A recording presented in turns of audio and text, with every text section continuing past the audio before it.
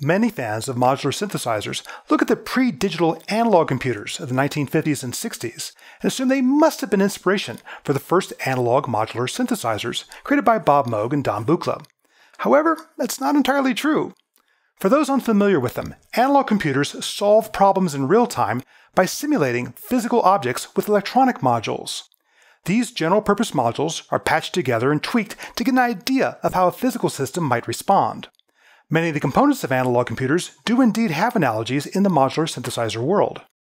However, neither Bob Moog nor Don Buchla are known to cite analog computers as inspiration for their work.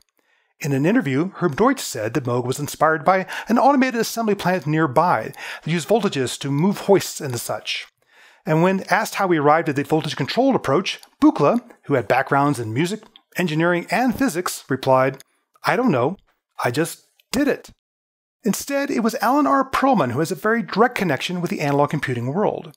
As a co founder of Nexus Research Laboratory in Canton, Massachusetts, he designed multipliers and amplifiers for military and space grade analog computers.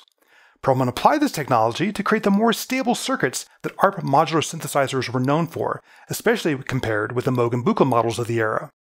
In a nod to his days at Nexus, exponential converter circuit components were even listed as items for sale in the early ARP 2500 catalogs.